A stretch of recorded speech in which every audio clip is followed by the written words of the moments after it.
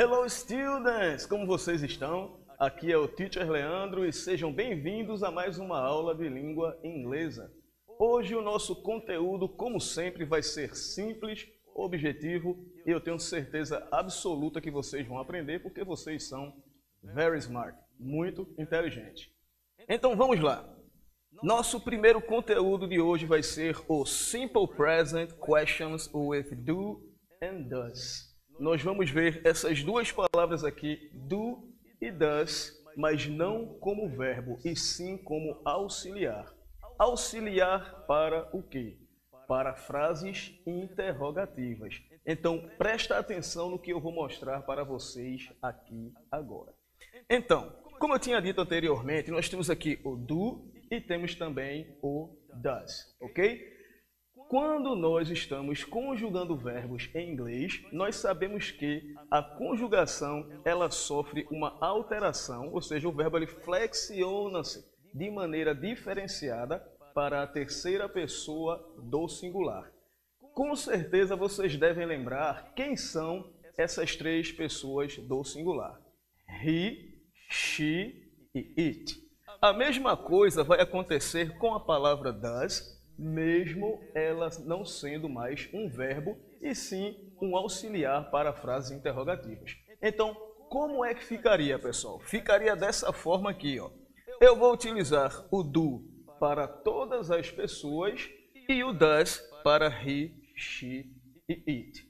Lembrando, esse auxiliar eu só vou utilizá-lo em frases interrogativas quando não houver o verbo to be, ok? Com o verbo to be, verbo can, entre outros, você não vai utilizar aí o do e o does.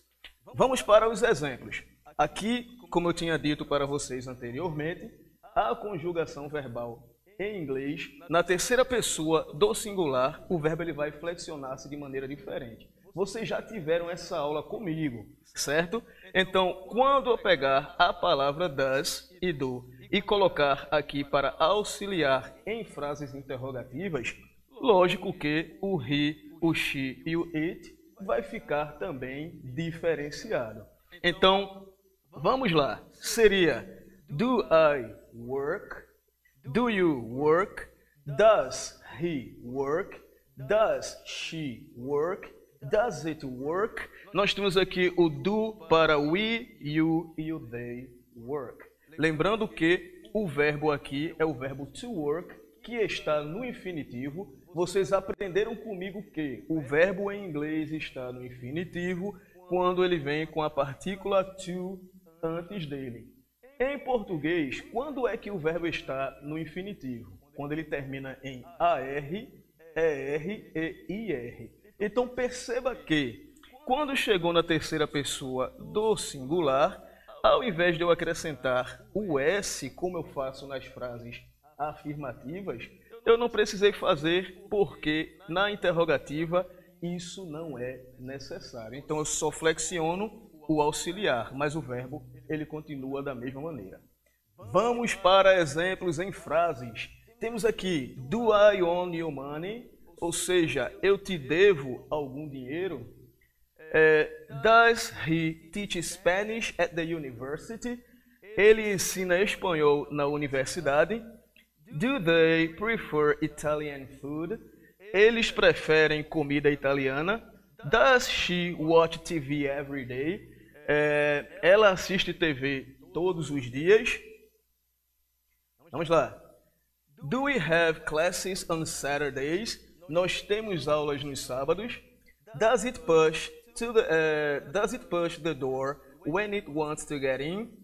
Uh, ele ou ela empurra a porta quando quer entrar. Do you arrive late? Você chega atrasado. Does she kiss her grandma before leaving? Ela beija a sua avó quando ela sai. É, e does he go to the gym on weekends? Ele vai para a academia nos finais de semana.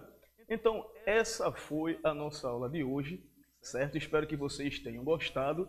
Aqui está o nosso Week Challenge, que é o desafio semanal. Aponta a câmera do teu QR Code para a TV e você vai ser automaticamente direcionado para o nosso desafio. tenham uma excelente semana. Bye bye, students!